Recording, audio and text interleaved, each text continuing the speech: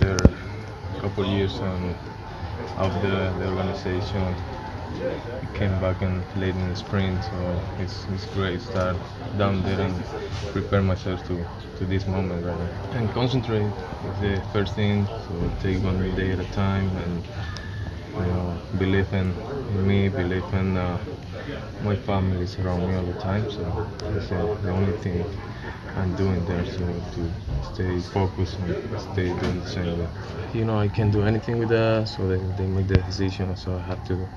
keep doing uh, doing my job and somebody they, they somebody some team take me there, but uh, it's, it's over, so I think now it's